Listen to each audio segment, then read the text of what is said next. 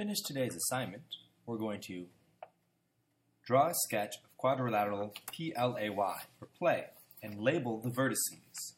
That's the first thing we're doing here, number two, letter A. Since we are only graphing in the top right quadrant, we can set up our x and y axis like this.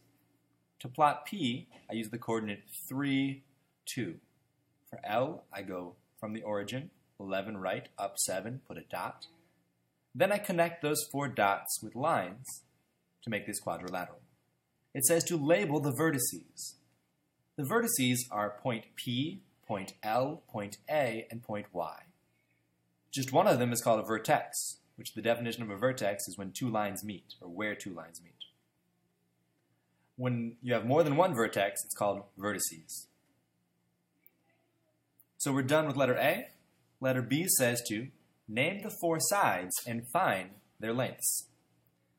So naming the sides is not that difficult. We start with a vertex such as y, and we travel to a vertex such as a. The side is simply called segment YA, like this, with a line above it.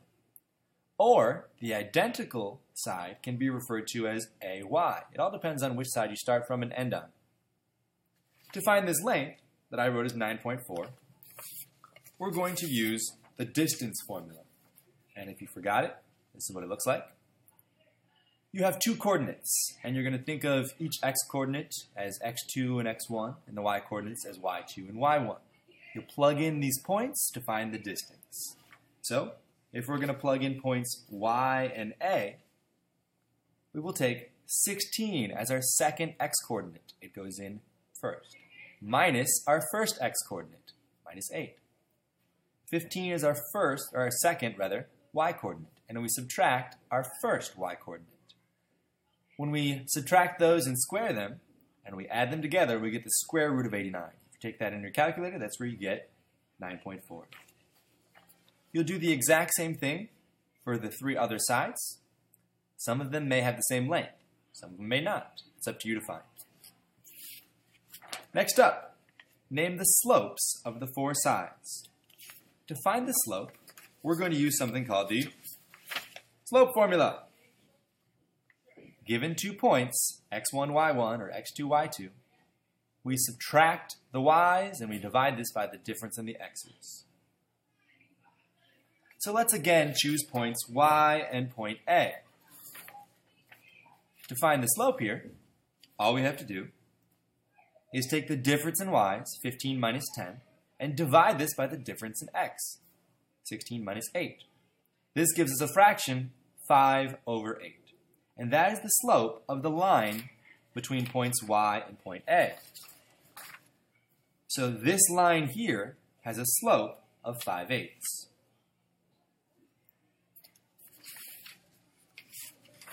Next up, we're going to name the two diagonals and find their lengths and slopes. The definition of a diagonal is when you connect a vertex to a non-adjacent vertex. So here is y. What adjacent means is right next to. So y cannot be connected to the vertices right next to it. What's the only other vertex? It's the one right across from it. And that forms a diagonal.